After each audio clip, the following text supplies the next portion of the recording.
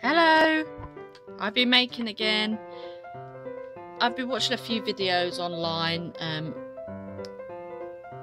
with like altered shoes in and stuff, and obviously I've altered some um, baby shoes. There's, one of the videos there, and pop back on my on my channel, and um, I thought I would um, have a go at making my own shoes. Um, and I just sort of I've had the pattern printed out for ages and I just never got round to it. So it's the Marie Antoinette. If you go on to Google, you'll be able to oops, you'll be able to um, see. Uh, there's actually the template there. It it's got like all the bits for your shoe. Um, and then you can make it into a heel if you want to because they've got the score lines on.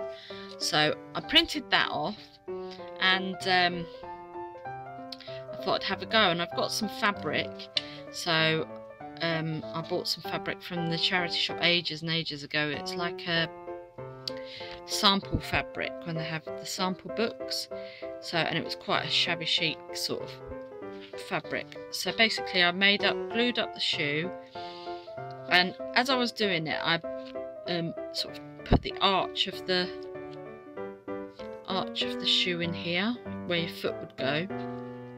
And I thought that would make a really good inlet and quite a safe inlet for stick pins.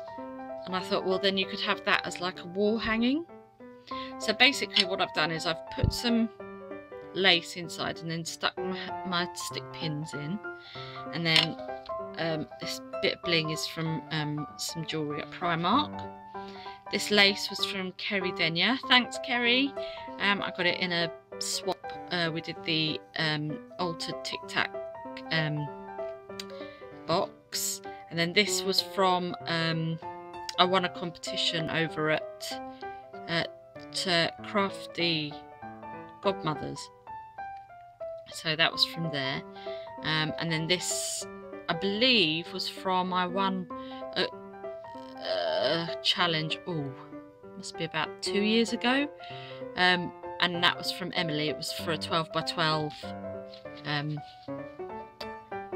12 by 12 piece um, layout, scrapbook layout that I did, and I won that.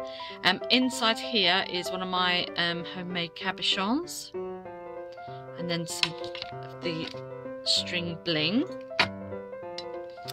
just around there, the beaded bling, and then they're my stick pins.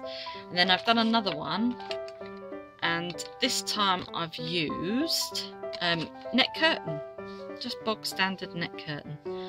And um, yeah, I glued it all, and then you I popped the bottom on there. You could probably put like a pattern paper on the bottom.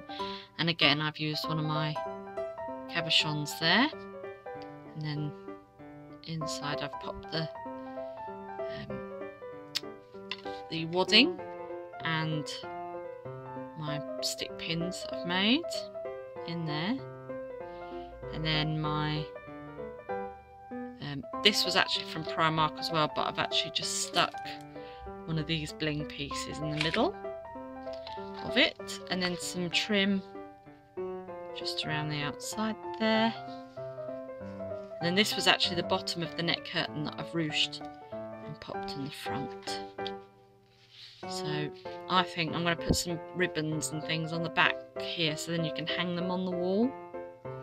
I think they would look really good. So that's what I have been working on over the last few days. So um, leave a comment and keep crafting.